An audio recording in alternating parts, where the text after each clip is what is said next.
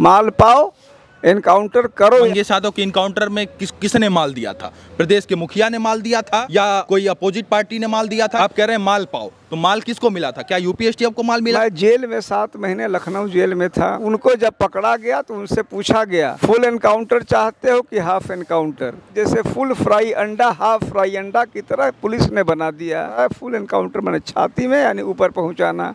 Half encounter मतलब पाँव में यानी अभी तुम लंगड़ा के चलोगे। यूपीएसटीएफ की जो ये कार्यवाही है क्या आपको लगता है कि ये जाति देखकर किया गया है? जो ठोक डालो की नीति चल रही है उसके एक शिकार मंगेश यादव हूँ। दर्जनों लोगों ने मुझे खुद बताया है फुल से हाफ़ एनकाउंटर कराने के उन्होंने पैसे दिए हैं। कितना रुपया लगता है एक फुल इनकाउंटर में? फुल एनकाउंटर से हाफ़ इनकाउंटर बदलने में तीन लाख चार लाख पाँच लाख। इतने रुपए देने के बाद फुल इनकाउंटर हो जाएगा खेल खत्म हो जाएगा ठोक दिया जाएगा। कि ठोक देंगे उड़ा देंगे छोड़ेंगे नहीं बक्सेंगे नहीं। यदि इस प्रकार की चीज़ें हो रही हैं तो लोग सवाल करेंगे, कोर्ट कहाँ है, कानून कहाँ है? मंगेश यादव इनकाउंटर थियरी को लेकर हर कोई सवाल खड़ा कर रहा है और यूपीएसटीएफ कहीं ना कहीं इस पूरे मामले पर कसूरवार है, जिम्मेदार है। यादव सेना ने स्पष्ट शब्दों में कहा, अखिलेश यादव ने उधर ट्वीट किया, अब इस पूरे मामले पर बातचीत करने के लिए अभी हमारे साथ पूर्व आईपीएस अमिताभ ठाकुर सर हैं, जुड़ेंगे, बातचीत करने का प्रयास करेंगे। सर, मंगेश यादव के मामले को कैसे देखते हैं आप? जहाँ एक तरफ़ यूपीएसटीएफ के ऊपर सवाल खड़ा किया जा रहा है कि इस पूरे मामले पर यूपीएसटीएफ ने अपहरण किया और दूसरी तरफ़ ले जाकर मंगेश यादव कर दी और इस पूरे इनकाउंटर थ्योरी पर सवाल खड़ा किया जा रहा है कि जिस तरीके से प्रदेश में इनकाउंटर हो रहा है, यानी कि प्रदेश को ये कहा जा रहा है कि प्रदेश राजधानी बन गया है इनकाउंटर का। क्या कुछ कहेंगे सर आप?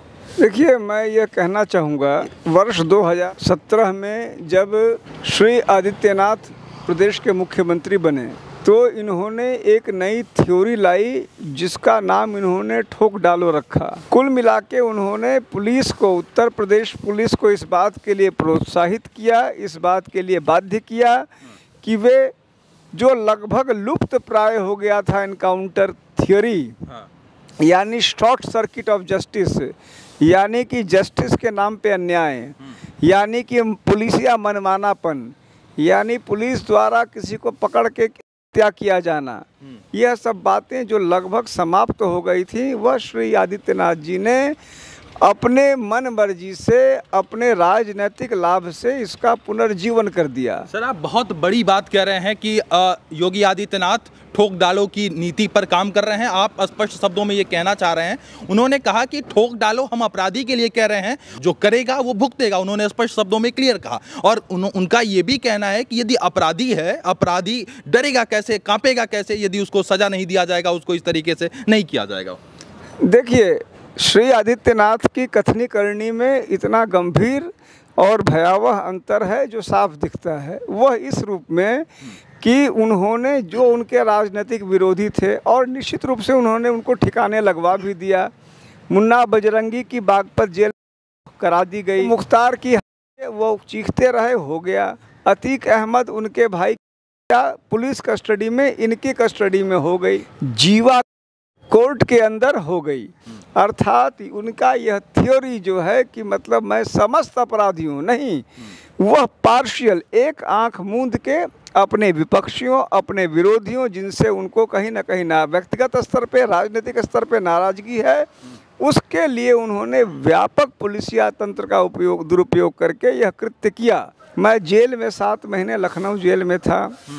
दसियों बीसियों लोगों ने मुझे बताया कि उनको जब पकड़ा गया तो उनसे पूछा गया फुल एनकाउंटर चाहते हो कि हाफ़ एनकाउंटर? अब ये फुल एनकाउंटर हाफ़ एनकाउंटर जैसे फुल फ्राई अंडा हाफ़ फ्राई अंडा की तरह पुलिस ने बना दिया। तो यानी आप ये कह रहे हैं कि मंगेश यादव का फुल इनकाउंटर हुआ उसको ऊपर पहुँचा दिए गए। तो इसमें जो है पुलिसिया पुलिसिया जो है कार्रवाई की गई और इसमें कहीं ना कहीं प्रदेश के मुखिया का हाथ।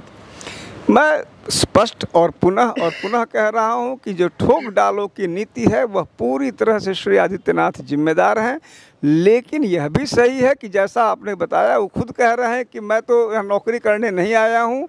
उनके दोनों हाथों में लड्डू इसीलिए है कि कल को वह सीधे पलड़ा झाड़ लेंगे और कहेंगे कि भाई, मुझसे क्या मतलब है? मैंने थोड़ी कहा था कि बेगुनाहों मैंने तो न्याय के लिए कहा था, वह अलग हो जाएँगे। ये जो अफसर इस समय उनके उत्साह में अपना लालच सिद्ध कर रहे हैं, उनको खुश कर रहे हैं, पैसा कमा रहे हैं, गुनाह कर रहे हैं, अंत में फंसे फंसाएँगे यही। क्योंकि आदित्यनाथ जी ने तो एक पॉलिसी की बात की है इम्प्लीमेंट करने वाले ही फंसेंगे, वो अपना आराम से निकल लेंगे। अच्छा सर, क्या आपको लगता है कि इस पूरे मामले पर बात किया जाए? जाति देखकर उत्तर प्रदेश में अब ठोका जा रहा है, जाति देखकर उत्तर प्रदेश में अब इनकाउंटर हो रहा है, जाति देखकर अब उत्तर प्रदेश में गोली चलाई जा रही है और जाति देखकर पुलिस जो है चुन चुन कर बदला ले रही। क्या आपको ये लगता है कि क्या वाकई में जाति देखकर क्योंकि आप आईपीएस रहे हैं आप पुलिसिया कार्रवाई को भी जानते हैं और बाहर की चीज़ों को भी देख रहे हैं कि घटना किस तरीके से हो रही है। यूपीएसटीएफ की जो ये कार्यवाही है क्या आपको लगता है कि ये जाति देखकर किया गया है? योगी आदित्यनाथ ठाकुरों को बढ़ावा दे रहे हैं। मैं इस पर दो बातें कहूँगा। हम्म। पहली बात कि मंगेश यादव उदाहरण को मैं कोई अलग नहीं मान रहा हूँ। एक जो बड़ा फिनोमेनन चल रहा है मैंने पुनः कहा 2017 से जो ठोक डालो की नीति चल रही है उसके एक शिकार मंगेश यादव हैं। तनहा नहीं है। सैकड़ों की संख्या में ऐसे बेगुनाह लोग हैं। नंबर एक बात। नंबर दो बात, मैं उसको जाति नहीं कहूँगा, मैं उसको एक बृहतर मैं दो कारणों से इनकाउंटर मान रहा हूँ। एक राजनैतिक कारण, दूसरा आर्थिक कारण। ऊपर से आदित्यनाथ जी के स्तर से राजनीतिक कारणों से एनकाउंटर हो रहे हैं। जो विपक्षी हैं उनको एलिमिनेट कर दो। कह रहे हैं कार्यवाही अपराधी के ऊपर हो रहा है। वो कोई कोई बहुत अच्छा आदमी नहीं था। वो अपराधी था उसके ऊपर मुकदमा दर्ज था। तो यदि पुलिस कार्यवाही में इनकाउंटर हो जाता है तो लोग के पेट में क्यों मरोड़ हो रहा है? छाती पीट रहे हैं हाय तोबा हाय तोबा मचा रखे हैं। हाय तोबा लोग इसीलिए मचा रखे हैं कि तुम्ही ने दर्जनों और संभवतः सैकड़ों लोगों को खुला प्रश्रय दे रखा है यह सब देख रहे हैं। श्री आदित्यनाथ जी के राज में दर्जनों तो मतलब चुनिंदा अपराधी माफिया लगभग हर ज़िले में हैं जो पूरे शान से घूम रहे हैं और इस दौरान भयावह रूप से पुष्पित पल्लवित हुए हैं। तो आप ये तो जो दोहरापन है वह दोहरापन मैं समझूँगा कि किसी भी व्यक्ति को इतना ज़्यादा दिख रहा है कि हर व्यक्ति कह रहा है। एक बात। दूसरी बात मैं पुनः कहूँगा कि जा चूँकि जाति राजनीति का उत्तर प्रदेश में एक अविभाज्य अंग है तो बुनियादी बात तो है राजनीति। जो राजनीतिक रूप से सूट करता है यह सभी जानते हैं कि किस पार्टी का जो बड़ी पार्टियाँ हैं उनमें किसका कौन वोट बैंक है। तो राजनीति ऊपर है उसके आधार पर यह अच्छा ये मेरे जाति का है मेरे जाति का नहीं है। इस आधार पे पुलिस सीधे सीधे एनकाउंटर कर रही है और तीसरी बात, उसके इतर पुलिस जो भी एनकाउंटर कर रही, चाहे एसटीएफ चाहे जिला पुलिस, वह आर्थिक कारणों से कह रही है, कर रही है। उसमें कोई जाति धर्म नहीं है। माल पाओ एनकाउंटर करो या न करो। मंगेश यादव के इनकाउंटर में किस, किसने माल दिया था? प्रदेश के मुखिया ने माल दिया था या कोई अपोजिट पार्टी ने माल दिया था कि यूपीएसटी को माल आप कह रहे हैं माल पाओ तो माल किसको मिला था? क्या यूपी एसटीएफ को माल मिला था? देखिए मैंने ये कभी नहीं कहा कि आदित्य आदित्यनाथ जी क्यों माल देंगे? जब मुख्य उनके तो आदेश ही समय कानून है। वो मैंने यह तो मैंने ऐसी मूर्खतापूर्ण बात नहीं कही कि आदित्यनाथ जी माल दे रहे हैं। हम्म, तो माल दे कौन रहा है? माल पॉलिटिकल राइवल्स दे रहे हैं। अच्छा। माल वह जैसे मान लीजिए मुझे एलिमिनेट कराना है मेरा जो शत्रु है पुलिस को अप्रोच कर रहा है ऐसे भी दर्जनों शिकायतें खुद मेरे पास आई हैं। आपकी बात सुनने के बाद लोग कहेंगे कि मंगेश यादव कोई बहुत बड़ा मंत्री तो था नहीं कोई बहुत बड़ा माफिया तो था नहीं कोई कुख्यात अपराधी तो था नहीं कि उसके ऊपर पाँच छः सौ मुकदमा चल रहा था उसको लोग खोज रहे थे दस बीस मुल्क की पुलिस खोज रही थी ऐसा कोई तो माफिया सरगना तो था नहीं। उसको उसको उसके लिए लोग सुपारी क्यों देंगे? उसके लिए माल क्यों कोई ढीला करेगा? मेरी और आपकी बात का बुनियादी अंतर यह है कि आपका पूरा फोकस केवल मंगेश यादव पे है। मैं उस बड़े फिनोमेनन की बात कर रहा हूँ जिसमें मंगेश यादव एकमात्र नाम है। मैं बार बार कह रहा हूँ मैं वो हज़ारों एनकाउंटर की बात कर रहा हूँ उसमें मंगेश यादव सिर्फ़ एक नाम है। बाकी और सारे लोग इस तरीके से हैं। वो मैंने मैं फिर वहीं आऊँगा। मैं सिर्फ़ और सिर्फ़ दो कारण जानता हूँ जिनसे इनकाउंटर हो रहे हैं। पहला पॉलिटिकल कारण और यह मैं मंगेश यादव के मामले में ही नहीं कह रहा हूँ। मैं। सभी इनकाउंटर में और खुले ढंग से आरोप लगा रहा हूँ। हाँ। सकारण लगा रहा हूँ क्योंकि पॉलिटिकली कोई भी एक एनकाउंटर ऐसा नहीं है जो पॉलिटिकली नुकसानदेह हो। भाजपा को या श्री आदित्यनाथ को, हर एनकाउंटर कहीं ना कहीं उनको पॉलिटिकली सूट करता है। नंबर एक बात।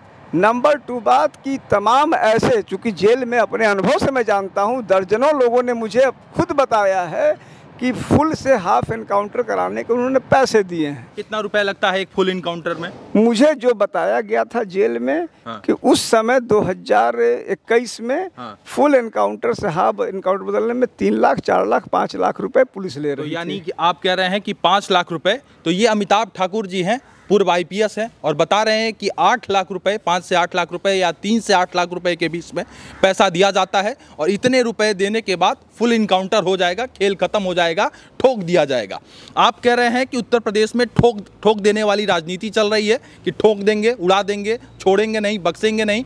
यदि इस प्रकार की चीज़ें हो रही हैं तो लोग सवाल करेंगे, कोर्ट कहाँ है? कानून कहाँ है? इस तरीके से चीज़ें हो रही हैं, घटना घटित हो रही है तो कोर्ट को संज्ञान लेना चाहिए। कोर्ट आखिर मौन क्यों है? क्या आपको लगता है कोर्ट मौन है नहीं मुझे नहीं लगता है कोर्ट मौन है हाँ। मैं जानता हूँ कि लगातार एफ़ भी हो रहे हैं हम्म। दर्जनों मामले तो मैं जानता हूँ अभी दो दिन पहले मैंने देखा सीजेएम प्रयागराज ने हम्म। वहाँ के एसओजी टीम और अन्य लोगों पर एफआईआर फर्जी मुठभेड़ में आदेश किया हम्म। कुछ दिन पहले मैंने देखा एक एसपी थे उन पर औरैया या किसी और ज़िले में। एसपी और अन्य लोगों पर कोर्ट ने आदेश किया झांसी में मैं जानता हूँ एक मिस्टर यादव थे उनका एनकाउंटर हुआ था उसके मामले में हाई कोर्ट ने एफआईआर के आदेश किए। अनवरत एफआईआर एक हमारी वाइफ अधिवक्ता हैं लखनऊ में। एक एनकाउंटर हुआ था उसमें हमारी वाइफ ने कोर्ट में कहा कोर्ट ने उसमें एफआईआर कराया। तो आप ये खुले शब्दों में डंके की चोट पर यह ऐलान कर रहे हैं कि उत्तर प्रदेश में ठोक देने वाली पॉलिसी चल रही है हाफ़ इनकाउंटर फुल इनकाउंटर चल रहा है और इसमें पूरी तरीके से संरक्षण प्रदेश के मुखिया माननीय मुख्यमंत्री योगी आदित्यनाथ दे रहे हैं। आप स्पष्ट शब्दों में कह रहे हैं। ये मैंने ज़िम्मेदारी कह रहा हूँ। यह तो वो खुद कह रहे हैं मैं तो उनकी बात दोहरा रहा हूँ। क्योंकि दर्जनों बार श्री आदित्यनाथ ठोक डालो शब्द मैंने नहीं शुरू किया। उन्होंने ठोक डालो शब्द लिख किया। उन्होंने हर जगह तो कहा जो करेगा वो भुगतेगा। अरे भाई तो करेगा वो भुगतेगा यही यही समस्या है। तो गलत क्या है इसमें? नहीं मैं बता रहा हूँ क्या गलत है क्योंकि कौन करेगा कौन भुगतेगा कि वो जज बन गए। हाँ। इस पूरे में सिर्फ़ एक छोटी सी गलती यह है कि किसने किया किसने भुगता इसके जज इसकी एक प्रक्रिया है। उन्होंने इस प्रक्रिया को समाप्त कर दिया और यह मामूली गलती नहीं है यह एक भयावह गलती है। भयानक गलती है। यदि आप कह रहे हैं गुनाह योगी आदित्यनाथ कर रहे हैं आप स्पष्ट शब्दों में कह रहे हैं बड़ी ज़िम्मेदारी के साथ कह रहे हैं तो यदि गुनाह हो रहा है तो इस गुनाह पर अंकुश लगने की ज़रूरत है इस गुनाह पर विराम लगने की ज़रूरत है। आप कानून के जानकार हैं। आप पुलिस सेवा में भी रहे और वैसे भी तमाम अपने जो है आज़ाद अधिकार सेना के तहत तमाम लोगों को न्याय दिलाने का काम कर रहे हैं। तो आपको क्या लगता है कि इस गंभीर गुनाह आप कह रहे हैं तो गंभीर गुनाह पर अंकुश कैसे लगेगा नियंत्रण कैसे होगा? निश्चित रूप से एक इसका का एक तो जो है जैसे कोर्ट मुझे मालूम है मेरे संज्ञान में है कि माननीय सुप्रीम कोर्ट में इस आशय का एक पीआईएल पेंडिंग है जिसमें मेरे ख्याल से दर्ज सैकड़ों मुकदमों का ज़िक्र है और कोर्ट ने उसको संज्ञान भी लिया है उस पर सुनवाई चल रही है। सुनवाई चल रही है।